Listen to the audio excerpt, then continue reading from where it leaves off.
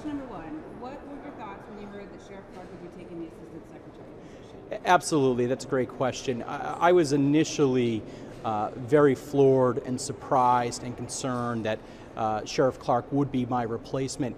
Uh, and it's not just me, but I've heard in the last 24 hours um, from former colleagues both at DHS as well as uh, across the country in states and cities and counties uh, that they're that folks are also concerned. Uh, they're alarmed by his uh, his rhetoric.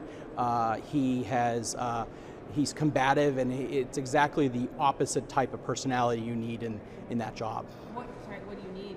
In that So you need you need someone who's who's level-headed uh, and uh, who can actually build relationships uh, on both sides of the aisle uh, with Democrats and Republicans. Uh, and you know when it comes to uh, bipartisanship, I mean Sheriff Clarke, his own words have said that you know he doesn't want to work across the aisle. In fact, the only time he'd go across the aisle to talk to a Democrat is to strangle them. And I know that you know I had to work with Republican governors and Republican mayors just as well as I had to work with Democratic governors and Democratic mayors to be successful in keeping this nation safe and secure. Um, were you let go when President Trump took office? Yes, I was. I, I served. Uh, I served in President Obama's administration as a presidential appointee. So uh, I left office on, on January 20th when President Obama left office. So when you have that sort of, you know, when people are, are tied to a president of a particular party, it does, I think, make people think that perhaps the job is partisan as well. Absolutely, and and and you know, the the name partnerships and engagement uh, sounds uh, innocent enough, but you know, somebody like Sheriff Clarke uh, in there, he can do real damage. Um, you know, you know, he would make the office about partisanship, not partnerships. And you know, a, a person who has you know equated you know Trump protesters who are exercising their First Amendment, you know, rights to protest as anarchists and who said, you know, that they should be quelled. I mean, you know, we would never say that uh, when we were at DHS, and, and there was plenty of people protesting President Obama all the time, but we didn't call them anarchists or seek to quell them. Um, what are your thoughts on Sheriff Clarke's connections to Russia? Uh, I really have no uh, no real thoughts on that, other than you know it, it, it's it's a little suspicious uh, that you know uh, that you know Sheriff Clarke has traveled to Russia. Uh, I did the job at DHS for, for eight years. I never traveled to Russia, nor have I ever been sued by the uh, ACLU for causing inmate deaths in a jail.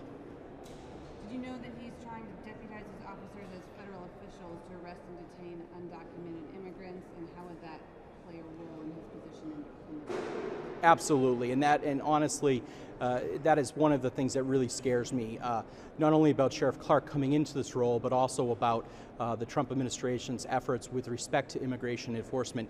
Uh, we had real priorities in the Obama administration.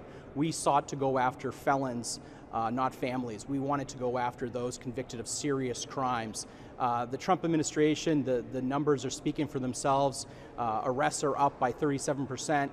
50% more people, or 50% of people being arrested don't have a criminal history.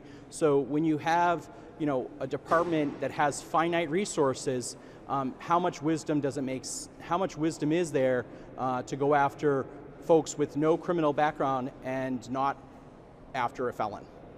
What do you say to people that say, well, you know, you work for President Obama, I would expect that you wouldn't like this guy? Does it go beyond? It, it, it, it certainly does go beyond that. And, and again, you know, when, when I was in that job, we, we dealt with a range of incidents. We dealt with uh, Ebola, long lines at TSA checkpoints. We dealt with uh, Hurricane Sandy and Matthew uh, and the H1N1 pandemic and the Boston Marathon bombing and the Orlando shooting.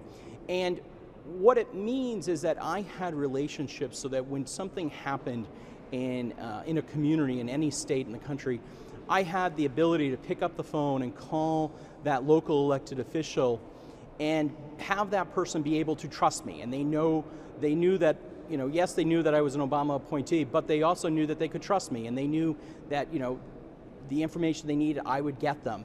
And you know, we, we did a lot of work with, with Republican governors on cybersecurity, and I just don't see uh, Sheriff Clarke being able to build uh, relationships with Democrats. Is there anything else you want to add? that I didn't ask? I don't think so. Um, let me think if there's anything else. Um, there's, I mean, if people don't like this, there's nothing they can do. Yeah, I mean, this is again, you know, this is uh, an appointment by, uh, by Secretary Kelly.